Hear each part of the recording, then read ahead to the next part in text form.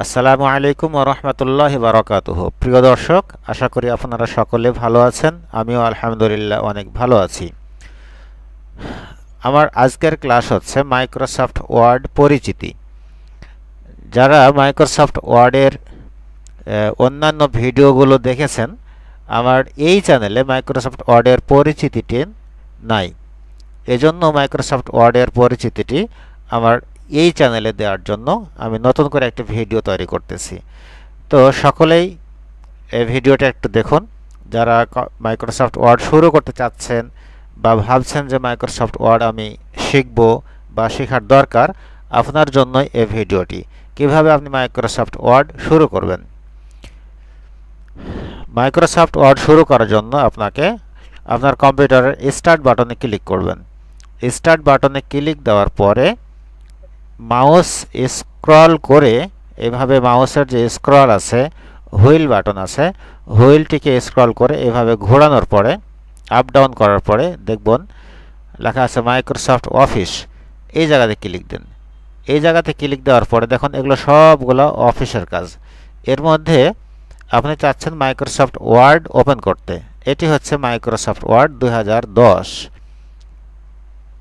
আপনার কম্পিউটারে হয়তো বা উনিশ থাকতে পারে বা দুই সাত থাকতে পারে যেটি থাকুক না কেন আপনি এখানে একটি ক্লিক দেবেন।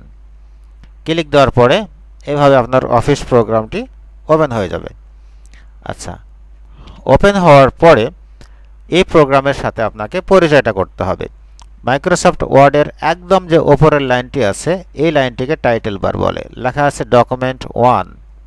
দেখুন, এই যে লেখা আছে এখানে, মাইক্রোসফট ওয়ার্ড। এই পুরো লাইনটিকে বলা হয় টাইটেল বার।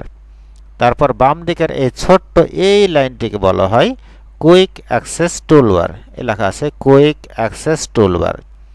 তারপরে ডান সাইডের এই জায়গাতে আছে, এটা হচ্ছে, এটি হচ্ছে মিনিমাইজ বাটন, এটা রেস্টোর ডাউন, এটি হচ্ছে ক্লোজ। মিনিমাইজ করলে পারে প্রোগ্রামটি, এই নিচে এসে থাকবে টাস্ক বারে, আবার ওখানে ক্লিক দিলে পরে ম্যাক্সিমাইজ হয়ে যাবে। এটা রেস্টোর ডাউনে ক্লিক দিলে প্রোগ্রামটা একটু ছোটো হবে, আবার রেস্টোর ডাউনে এখানে ক্লিক দিলেই এটা ম্যাক্সিমাইজ হয়ে যাবে। প্রোগ্রামটি যদি বন্ধ করতে চান, তাহলে এই ক্লোজ বাটনে ক্লিক দেবেন, এখানে। এখানে ক্লিক দিলে পরে প্রোগ্রামটি ক্লোজ হবে। আচ্ছা এরপরে এই যে file home insert page layout লেখা আছে, এই লাইনটিকে বলা হয় মেনুবার এই যে file home insert page layout এই লাইনটিকে বলা হয় মেনুবার আচ্ছা এরপরে মেনু বারে ক্লিক দিলে পারে, এই মেনুগুলোতে ক্লিক দিলে পারে বাট এগুলো ট্যাব বারও বলে কেউ তো এই ট্যাব বারে বা মেনু বারে ক্লিক দিলে পারে, আপনি হোমে ক্লিক দেন বা ইনসার্টে ক্লিক দেন। দেওয়ার পরে নিচের যে অপশনগুলো ওপেন হচ্ছে, এই যে একটি লাইন ওপেন হয়েছে এখানে এখানে ক্লিক দিলাম, আরও একটি লাইন এখানে ওপেন হলো। তো এই লাইনটিকে বলা হবে রিবন ইনসার্টের এটি হচ্ছে রিবন পেজ লেআউটের এটি হচ্ছে রিবন ভিউয়ার, এটি হচ্ছে রিবন। তো, হোমের যে যে কাজগুলো আছে, এই কাজ, সব কাজগুলো এই রিবনে সংরক্ষিত আছে। এখানে বিভিন্ন কমান্ড আছে। এই কমান্ডগুলো রিবন আকারে দেওয়া আছে। এখানে ফাইলে আছে save save as open close info recent new print ইত্যাদি ইত্যাদি। এগুলো আছে ফাইলে তো, এগুলো হচ্ছে রিবন। রিবনের নিচের, এই যেখানে একটি লাইন আছে, এক, দুই, তিন, চার লেখা আছে এটিকে বলা হয় রোলার। এখানে একটি রোলার আছে, বাম দিকে এখানেও একটি রোলার আছে। ডান দিকে এই যে এটি আছে, স্ক্রল। এই স্ক্রলটি টান দিলে পরে নিচের পেজের নিচের দিকে আসবে। স্ক্রলিং করে ওপর দিকে টান দিলে পরে এটা ওপর দিকে যাবে। পেজকে আপ ডাউন করার জন্য এই স্ক্রলটি ব্যবহার হবে। নিচে লেখা আছে page one one of one, word seven. এই লাইনটিকে বলা হয় task bar. Sorry, status bar. এই লাইনটিকে বলা হয় স্ট্যাটাস বার আর স্ট্যাটাস বারের নিচের যে লাইনটি আছে, এটাকে বলা হয় task bar and start menu আচ্ছা আর এটি হচ্ছে পেজ এ সাদা এই অংশটুকু পুরোটাই হচ্ছে একটি পেজ আর পেজের চতুর্পার্শ্বের যে, এই যে দাগটি আছে, এই দাগটিকে বলা হয় মার্জিন এই মার্জিনের ভেতরে আমরা এই লেখাগুলো লিখব বা লিখেছি। এবার আসি। মাইক্রোসফট ওয়ার্ডে লেখার পরে আমরা কীভাবে লেখা, এই মোটা বা চিকন আন্ডারলাইন করব? এই লেখাটা আমি সিলেক্ট করলাম। সিলেক্ট করার পরে এই যে লেখা আছে বি বি ফর বোল্ড এখানে ক্লিক দিলে লেখাটি মোটা হবে, আবার ওখানে ক্লিক দিলে পরে লেখাটি চিকন হবে। বোল্ড চিকন। বোল্ড নর্মাল তারপর আই ক্লিক দিলে হবে ইটালিক এখানে ক্লিক দিলে হবে ইটালিক ইটালিক হচ্ছে বাঁকা। একটু বাঁকা হবে। আর এটা হচ্ছে ইউ ফর আন্ডারলাইন এখানে আন্ডারলাইন হবে। আচ্ছা ওখানে আন্ডার ওখানে ইউতে ক্লিক করলে আন্ডারলাইন হবে, আবার ইউতে ক্লিক করলে আন্ডারলাইনটি উঠে যাবে। তারপরে এই অংশটি এটা নাম হচ্ছে স্ট্রিক থ্রো এখানে ক্লিক দিলে পরে লেখার মাঝখানে একটি দাগ আসবে। এই যে, একটা দাগ আসছে, আবার ওখানে ক্লিক দিলে পরে দাগটি সরে যাচ্ছে। তারপর এটি হচ্ছে সাবস্ক্রিপ্ট এটি হচ্ছে সুপার স্ক্রিপ্ট সাবস্ক্রিপ্ট দেখাই আমি। কোনো সংখ্যা লেখার পরে যদি কোনো সংখ্যাকে আপনি পাওয়ার বানাতে চান পাওয়ার সেক্ষেত্রে নিচের পাওয়ার যদি করতে চাই, তাহলে এখানে সাবস্ক্রিপ্টে ক্লিক দিতে হবে আর ওপরের পাওয়ার ক্লিক দিলে করতে চাইলে সুপার স্ক্রিপ্ট করতে হবে। এই দেখুন, এখানে হচ্ছে সুপার স্ক্রিপ্ট আর এটি হচ্ছে সাবস্ক্রিপ্ট আচ্ছা আর লেখা যদি আমরা রঙিন করতে চাই, সেক্ষেত্রে এ আছে এর পাশাপাশি অ্যারো আছে, এই আরোতে ক্লিক দিতে পারে, লেখা রঙিন হবে কালার হবে। এইভাবে লেখা কালার করা যায়। আশা করে বুঝতে পেরেছেন। তারপর এটি হচ্ছে highlights cell highlight text highlight colour text highlight colour হচ্ছে যেমন আমি এই যে লেখাটি কপি করে পেস্ট করলাম, অনেকগুলো করলাম। এখন এই লেখাটি আমি কি করব? হাইলাইটস করতে চাই। তাহলে এখানে গিয়ে যে কোনো একটি কালার দিলাম। এ হচ্ছে টেক্সট হাইলাইট কালার টেক্সটের নিচে ব্যাকগ্রাউন্ড দেওয়া। এখন এই ব্যাকগ্রাউন্ডটি বা টেক্সট হাইলাইট কালারটি উঠিয়ে দিতে চাইলে লেখাটি আবার সিলেক্ট করার পরে টেক্সট হাইলাইট কালারে গিয়ে নো কালার করে দিলেই কালারটি চলে যাবে। আচ্ছা এরপরে এই লেখাটি আমরা একটু বড় করতে চাই। বড় করার জন্য এখানে তিনটে অপশন আছে। ছোট বড় করার জন্য তিনটে অপশন একটি হচ্ছে ফন্ট সাইজ ছোট বড় করা। এখানে গিয়ে যে ফন্ট যত বড় করতে চান, সেখানে গিয়ে আপনি তত বড় হতে ক্লিক দেবেন। আটচল্লিশে ক্লিক দিলাম, আটচল্লিশ সাইজ হয়েছে, এটি হচ্ছে বিশ সাইজ এটি হচ্ছে চব্বিশ সাইজ এভাবে লেখা ছোট বড় করা যায়। আপনি যদি দরখাস্ত লেখেন, যে আমি দরখাস্ত লিখতে চাই কোশ্চেন লিখতে চাই, সেক্ষেত্রে আপনি চোদ্দ ফান্ড দেবেন, বারো ফান্ড অথবা চোদ্দ ফান্ড এই টাইপের লেখাগুলো, এই টাইপের সাইজগুলো হচ্ছে আপনার অফিসিয়ালি সাইজ বারো, তেরো, চোদ্দ, এই সাইজগুলো চলে অফিসে আচ্ছা এরপরে যে লেখা ছোট করলাম, আমি এখান থেকে ফন্ট সাইজ ছোট বড় করলাম। এই কাজটি এখান থেকে হয়। এটাকে বলা হয় গ্র ফন্ট আর এটাকে বলা হয় স্ট্রিং ফন্ট গ্রতে বড় হবে স্ট্রিংকে ছোট হবে। তো এই জায়গা, দুই জায়গা থেকেও লেখা ছোট বড় করা যায়। আচ্ছা এরপরে এটা কি? এটা হচ্ছে ফন্ট স্টাইল এই জায়গাটি থেকে ফন্টের বিভিন্ন ধরনের স্টাইল পরিবর্তন করা যায়। এখানে দেখো, দেখুন অনেক ফন্ট আছে। এই যে ইংরেজি ফন্ট বা বাংলা ফন্ট বাংলার জন্য বাংলা ফন্ট চুজ করব, আর ইংরেজির জন্য ইংরেজি, আরবির জন্য আরবি। এই দেখুন, সুন্দর একটি ফন্ট চলে আসছে। তো এখান থেকে আমরা লেখার বিভিন্ন ধরনের ফন্টগুলো নিব। এই যে, অনেক ইংরেজি ফন্ট আছে। এগুলো হচ্ছে বাংলা ফন্ট এই যে বাংলা ফন্ট বাংলার ডিজাইন লেখার স্টাইল হ্যাঁ আরবিও এখানে আছে, এই যে, আরবি আছে। বিভিন্ন ধরনের আরবি স্টাইলের ফন্ট আছে, সেগুলো নেওয়া যাবে। তো এই দেখুন, প্রচুর ফন্ট আছে। এই ফন্টগুলো আপনি আপনার কাজে ব্যবহার করতে পারবেন, এগুলো আরবির জন্য।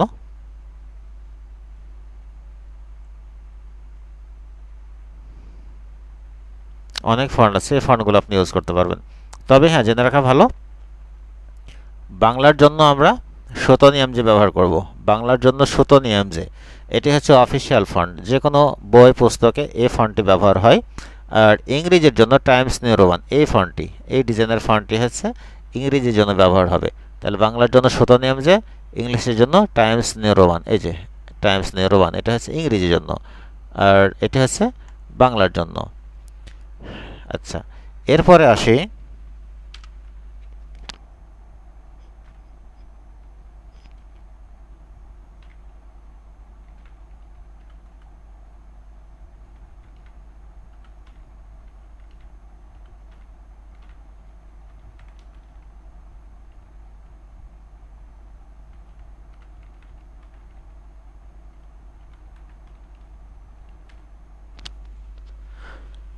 আচ্ছা এখানে আমি দুইটি সেন্টেন্স লিখেছি।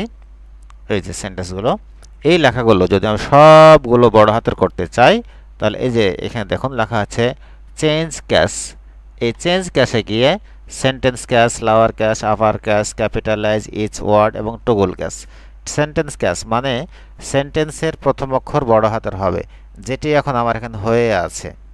হয়ে নাই ওয়ার্ডটা বড় হাতের হয়ে গেছে। সেন্টেন্স ক্যাশকে লিখ দিলাম। দেখুন, এটি একটি যে ফুল স্টপ আচ্ছা এখানে একটি ডট দিলাম। তো এই হ্যালোটা হ্যালোর এইচ বড়, এখানে হাউ আর ইউর এখানে এইচটাও বড়, বাকিগুলো সব ছোট হাতের। এটিকে বলা হয় সেন্টেন্স ক্যাশ তারপর আছে লাওয়ার ক্যাশ মানে সবই ছোট হাতের হয়ে যাবে। ওয়াল স্মল ক্যাপ তারপর আপার ক্যাশ সবগুলো বড় হাতের অক্ষর হয়ে যাবে। ক্যাপিটাল লেটার হয়ে যাবে। এটা হচ্ছে স্মল লেটার হয়ে যাবে। আর এটা হচ্ছে ক্যাপিটাল লেটার হয়ে যাবে ওয়াল ক্যাপ আচ্ছা এটা হচ্ছে ক্যাপিটালাইজ ইজ ওয়ার্ড প্রতিটি শব্দের প্রথম অক্ষর বড় হাতের হবে। হ্যালোর এইচ বড় হাতের ওয়ার্ল্ড ডাব্লিউ তারপরে হাউ এইচ বড় হাতের আর বড় হাতের, এ আর এর এ বড় হাতের ইউ এর ওয়াই বড় হাতের। এটিকে বলা হয় ক্যাপিটালাইজ ইটস ওয়ার্ড হ্যাঁ এটা। তারপর টুগুল ক্যাশ, প্রতিটি শব্দের প্রথম অক্ষরটি ছোট হাতের হয়ে যাবে। এই কমান্ডটি অনেক কম্পিউটারে অনেক সময় নিতে চায় না। আচ্ছা তো আমার এখানে সুন্দরভাবে নিয়েছে। প্রতিটি শব্দের প্রথম অক্ষরটি ছোট হাতের হয়ে যাবে। দেখতে পাচ্ছেন আপনারা, হয়ে গেছে অলরেডি আচ্ছা তাহলে আমাদের কোনটা দরকার? আমাদের সব দরকার হয় মূলত এই অপশনটা আমাদের দরকার হয় সেন্টেন্স ক্যাশ আমরা যখন অনেকগুলো লেখা লিখি, একটা আর্টিকেল লিখি, তখন আমাদের, আমরা সেন্টেন্স ক্যাশ ব্যবহার করি। একটি ঠিকানা লিখি, তখন আমরা আপার ক্যাশ করে দিই সব বড় হাতে করে নেব। একটি প্রতিষ্ঠানের নাম লিখি, তখন প্রতিষ্ঠানের নামের ক্ষেত্রে প্রতিটা শব্দের প্রথম অক্ষর আমরা বড় হাতের করতে চাই। সেক্ষেত্রে আমরা ক্যাপিটালাইজ ইটস ওয়ার্ড এই অপশনটি আমরা ইউজ করতে পারব। তো এই জায়গাটা আশা করি বুঝতে পেরেছেন। তারপরে এই যে লেখাতে আমরা কালার দিয়েছি আচ্ছা একটা লেখাকে আমরা বড় করি, বড় করলাম, তারপরে এখানে আমরা বিভিন্ন ধরনের কালার ইউজ করলাম। এই যে কালার দিলাম। এখন এই যে এখানে কিছুটা ফরম্যাটিং করেছি, লেখা ছোট, বড় করছি কালার করছি, ইত্যাদি করছি। তো এটিকে আমরা ক্লিয়ার করে দেওয়ার জন্য এই অপশনটি ব্যবহার করব। এখানে লেখা আছে ক্লিয়ার ফরম্যাটিং মানে এখানে যা যা এডিটিং করছি আমরা, ছোট, বড় করছি কালার করছি, যা যা করছি, সবগুলো ক্লিয়ার হয়ে যাবে এখানে। ক্লিক দিলে পারে। এই দেখুন, সব ক্লিয়ার হয়ে গেছে, কিছুই নাই। একদম বাংলা ফন্টটাও ইংরেজি ফন্টে রূপান্তর হয়েছে। এবং কম্পিউটার ওপেন করার পরে যে ফন্টটি আমাদের ডিফল্ট আকারে ছিল, সেটা যে ক্যালিব্রি, এই ফন্টটি এখানে চলে এসেছে এবং ওই ফন্টে হয়ে গেছে। কম্পিউটার ওপেন করার পরে যখন সর্বপ্রথম লিখি, তখন লেখাটি ছিল এগারো ফন্টের। অর্থাৎ এটি ছিল আমাদের ডিফল্ট সাইজ এবং সেটিও হয়ে গেছে। অর্থাৎ এখানে যা যা আমরা কাজ করেছি, কিছুই কাজ নাই, সবগুলো ভ্যানিশ হয়ে গেছে, ক্লিয়ার হয়ে গেছে। নতুন করে কিছু করতে চাইলে আবার নতুন করে সিলেক্ট করে নতুন করে আমাকে নতুন করে ফরম্যাটগুলো করতে হবে। ছোট, বড় করতে হবে বা যা যা করার দরকার সেটা এভাবে করতে হবে। তো মাইক্রোসফট ওয়ার্ড পরিচিতির সাথে আমার ফন্ট গ্রুপের এই কাজটি আমার আপনাদের আজকে আমি দেখিয়ে দিলাম। নেক্সট ডে ইনশাআল্লাহ আমি প্যারাগ্রাফ এবং ক্যালিব্রি এবং এদিকে find replace and go to এই অপশনগুলো নেক্সট ক্লাসে শিখিয়ে দেওয়ার বা দেখিয়ে দেওয়ার চেষ্টা করব। ততক্ষণ পর্যন্ত আপনারা সকলে ভালো থাকবেন এবং সুস্থ থাকবেন। আল্লাহ আপনাদের সকলকে ভালো রাখুক এবং সুস্থ রাখুক। সেই প্রত্যাশা এবং সেই দোয়া করে আমার আজকের ক্লাস শেষ করছি। সবাইকে আবারও ধন্যবাদ এবং মোবারকবাদ জানিয়ে আমার আজকের ক্লাস শেষ করছি। আসসালামু আলাইকুম ওরহমতুল্লাহি বরকাতুহ।